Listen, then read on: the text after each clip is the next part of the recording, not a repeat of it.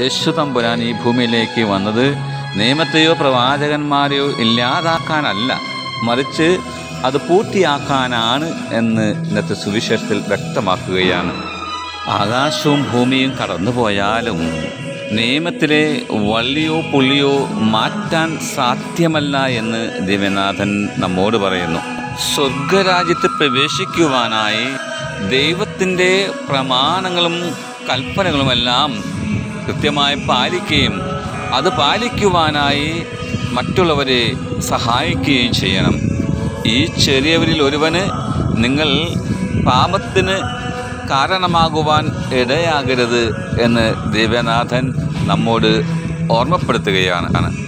നിങ്ങൾ നിയമം പാലിക്കുന്നത് പരിസയരെ പോലെയോ അല്ലെങ്കിൽ നിയമജ്ഞരെ പോലെ ആകരുത്.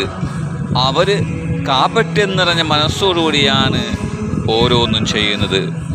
നാം ദൈവത്തിന്റെ പ്രമാണം കൽപ്പനകളും മറ്റുള്ളവർക്ക് സ്വീകാര്യമാകുന്ന വിധത്തിൽ സ്നേഹത്തോടും കരുണയോടും കൂടി വർദ്ധിക്കുവാനും അങ്ങനെ സ്വർഗരാജ്യത്തിൽ പ്രവേശിക്കാനും വേണ്ട കൃപയ്ക്ക് വേണ്ടി നാഥനോട് നമുക്ക് പ്രാർത്ഥിക്കാം.